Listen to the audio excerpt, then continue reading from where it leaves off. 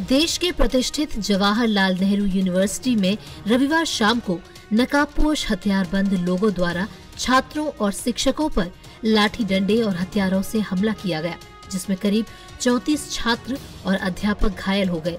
हिंदू रक्षा दल के राष्ट्रीय अध्यक्ष भूपेंद्र तोमर उर्फ़ पिंकी चौधरी ने सोमवार देर रात वीडियो वायरल कर जवाहरलाल नेहरू विश्वविद्यालय दिल्ली में हुए विद्यार्थियों और शिक्षकों पर हमले की ज़िम्मेदारी ली है। वीडियो में वो कहते नज़र आ रहे हैं कि देश विरोधी गतिविधियाँ हिंदू रक्षा दल बर्दाश्त नहीं करेगा। देश विरोधी गतिविधियाँ करने वालों को ऐसे ही जवाब दिया जाएगा जैसे रविवार शाम को दिया गया है। जेएनयू में छात्रों और शिक्षकों की पिटाई करने वाले उनके कार्यकर्ता थे।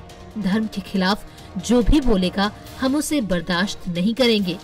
आगे किसी और यूनिवर्सिटी के छात्र ऐसा करेंगे तो उनके साथ भी यही होगा।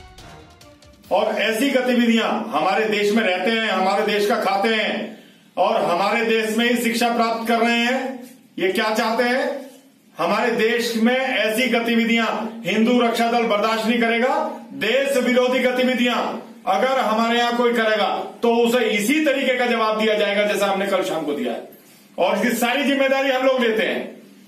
हमारे धर्म के खिलाफ, हमारे धर्म के खिलाफ इतना गलत बोलना और किस तरीके का इन लोगों का जो है व्यवहार है?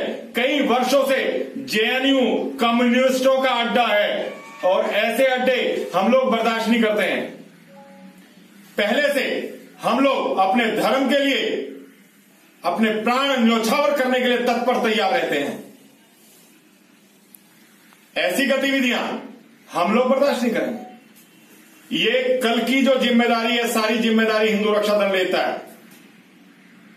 अगर आगे भी किसी ने ऐसी देश विरोधी गतिविधियाँ करने की कोशिश की तो हम ऐसी ही कार्रवाई आगे भी यूनिवर्सिटियों में कराएँगे।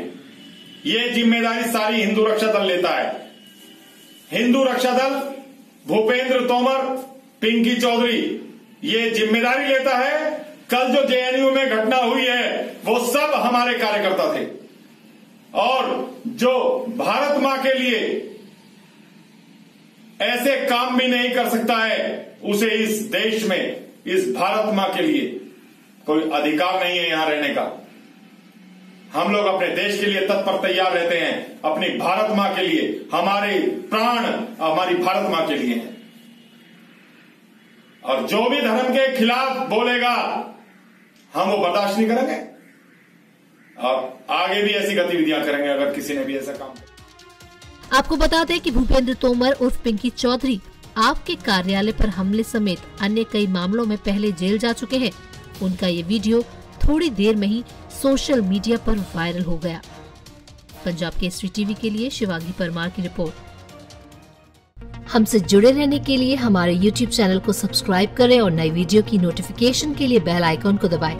अगर आप ये वीडियो Facebook पर देख रहे हैं तो लाइक ज़रूर करें और ज़्यादा से ज़्यादा शेयर करें। धन्यवाद।